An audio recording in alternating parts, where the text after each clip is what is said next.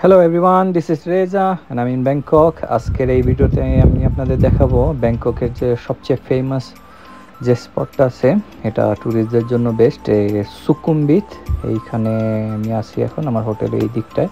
এদিকে একটা ট্যুর দিব এবং এখানে যে আরবি স্ট্রিট আছে, ওই দিকটা যাব এবং যে কিছু লোকাল রেস্টুরেন্ট আছে, যেগুলো ইন্টারন্যাশনাল আরবি এবং বাংলাদেশি রেস্টুরেন্টও আছে, দেখলাম। ওইদিকে ট্রাই করার চেষ্টা করব।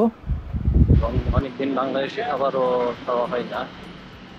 নর্মালি এমনিও আমি এখন বাংলাদেশি খাবার আমার বেশি খাওয়া হয় না। তো আজকে দেখি এখানে আপনাদের দেখানোর জন্য। যাচ্ছি এবং বাংলাদেশে একটা হোটেল দেখছিলাম রেস্টুরেন্ট হোটেল রেস্টুরেন্ট তো ওদিকে প্রাইস কেমন এখন? দেখি।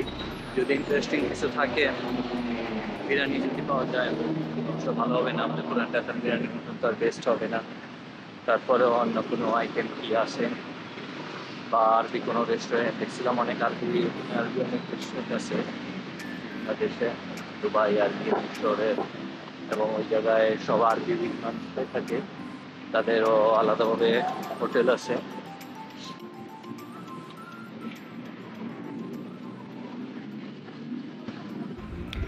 এখন আছি যে সুকুম্বিত রোডের মেন যে স্কোয়ারটা এই জায়গাটা সবসময় রাত্রে অনেক লেট পর্যন্ত লোকজনের আনাগোনা থাকে এবং ওই পারে ওই দিকটা আছে ফেমাস যে ব্যাংককের নানা প্লাজা ওইটা।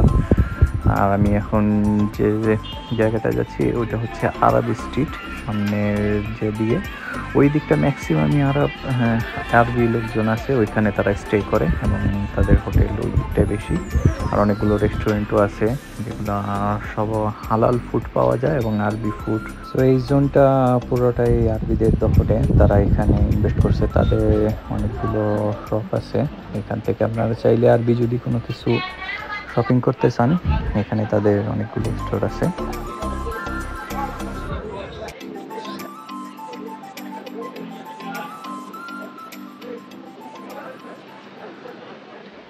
আর বিশেষ করে হালাল খাবারের জন্য অনেকে ব্যাংককের যে বেশিরভাগ খাবারে হান্ড্রেড পার্সেন্ট তো হালাল হয় না। তো এই দিকে যে রেস্টুরেন্টগুলো আছে, এগুলো হান্ড্রেড পার্সেন্ট হালাল খাবার পাওয়া যায়। এদিকে যে কাবাব, তারপর শর্মা, অনেক টাইপের আইটেম আছে, বিরিয়ানি খ্যাপসা অনেক কিছু পাওয়া যায়। অনেকগুলো রেস্টুরেন্ট আছে, দেখলাম। আমি এর আগে এখানে ট্রাই করছিলাম। খাবারের কোয়ালিটি ভালো এবং প্রাইস তেমন হাই না।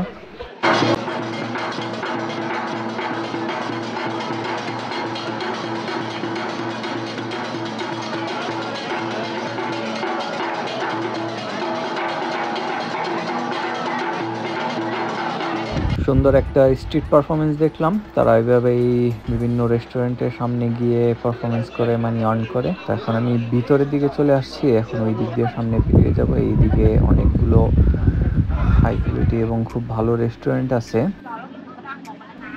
এই দিকটায় একটা সেলুন দেখতে পাচ্ছি। এখানে দেখলাম চুল কাটা তিনশো বাদ অ্যান্ড শেভ করাও তিনশো বাদ, প্রায় নয়শো টাকা করে। প্রাইসটা খুব হাই ইজিপশিয়ান একটা রেস্টুরেন্টের বাইরে এমন শর্মা বানাচ্ছে। তাদের দেখায় বোঝা যাচ্ছে যে অনেক কাজ আছে, অনেক অর্ডার আছে। একটার পর একটা খুবই স্পিডে তারা এখানে বানাচ্ছে। আর এমন ইজিপশিয়ান রেস্টুরেন্ট, এখানে প্রাইসটা তেমন হাই না। আপনারা চাইলে এখানে ট্রাই করতে পারেন। এবং রাস্তার ওই অপোজিটে একটা বাংলাদেশি রেস্টুরেন্ট, মনিকাস কিচেন। এটা আমি আজকে সকালে এখান দিয়ে যাওয়ার সময় দেখছিলাম। এখানে দুইটা দেখি বাংলাদেশ রেস্টুরেন্ট আছে, একটা Monica's kitchen authentic Bangladeshi cuisine Bangladeshi food এবং হান্ড্রেড পার্সেন্ট হালাল আর এই সাইডে একটা আছে স্টার রেস্টুরেন্ট এটাও বাংলা ফুড ওই দিকে দেখি মনে হয় এখানে হয়তো আরেকটা রেস্টুরেন্ট আছে কি না পরে দেখলাম যে না, এটা একটা মাসেজ পার্লার আমি ওই মনিকা কিচেন ওইটাতে ট্রাই করতেছি। মানে এখানে ভিতরে অনেকগুলো আইটেম আছে, তারা এরকম শো করে রাখছে। ফিশ অ্যান্ড ভেজিটেবল আইটেমটাই বেশি দেখতেছি, মনে হয় এই টাইপের আইটেম দিয়ে করা। যাই হোক, তো আমি এখান থেকে একটা ভুনা বিফ নিলাম, গরুর মাংস ড্রাই ঝুরা মাংস আর রুটি, দুইটা রুটি নিছি। তো দেখি টেস্ট করে, ভালো লাগলে আরও অন্য কিছু টেস্ট ট্রাই করব। সো আমি এই কয়টা দিন থাইল্যান্ডের ফুডটাই বেশি ট্রাই করছি। এখন ভাবছিলাম হয়তো এখানে বিরিয়ানি বা মাংস মাংসর আইটেম পাওয়া যাবে বেশি। তো যাই হোক, দেখলাম ফিশ আইটেমটা বেশি। ওকে এটা টেস্ট ভালো, কিন্তু খুবই spicy for me is spicy তাই অন্য কিছু আর ট্রাই করলাম না। Two hundred five five baht হয়েছে আমার বিল বেরিয়ে পড়লাম রেস্টুরেন্ট থেকে মনিকাস কিচেন তো খাবার শেষ করে দেখতে পারলাম যে তারা নেপালি। বাট বাংলা কথা বলে প্রথম ভাবছিলাম লেখা ছিল বাংলাদেশি। পরে কথা বললাম, তখন ভাবছি হয়তো তারা কলকাতার তো পরে দেখি যে না, এরা হচ্ছে নেপালি। আর খাবার, ঠিক আছে, যারা ব্যাংককে এসে অনেকে বাঙালি, বাংলাদেশি খাবার খোঁজে তারা এখানে ট্রাই করতে পারেন।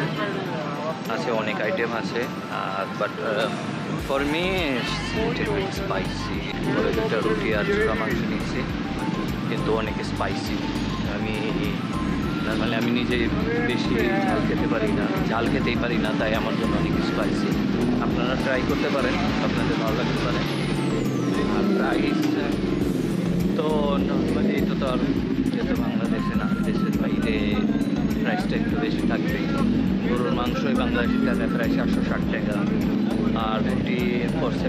পঁয়তাল্লিশ টাকা থেকে পঞ্চাশ টাকা করে পিস রুটি তিনটা রুটি।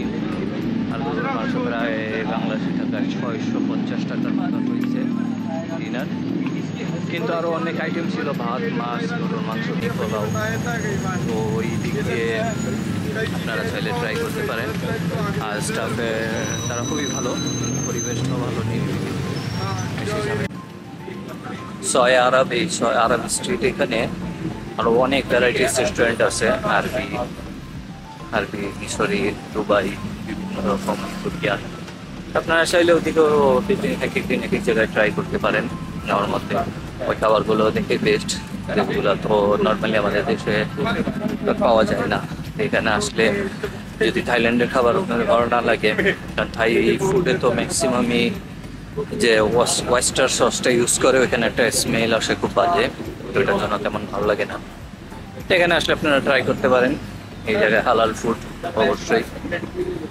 আর এখানে শপিংও করা যেতে পারেন আরবি কোনো দরকার পড়লে আরব দেশের। এখানে ম্যাক্সিমাম নাইনটি ফাইভ পার্সেন্টই আরব আরবের মানুষ। Yes, ভিডিওটি আজকে এখানে শেষ করতেছি। ভালো লাগলে অবশ্যই লাইক এন্ড কমেন্ট করে জানাবেন। এবং চ্যানেলটিতে সাবস্ক্রাইব করে পরবর্তী ভিডিও দেখার জন্য। সবাইকে ধন্যবাদ। আর বিদেশ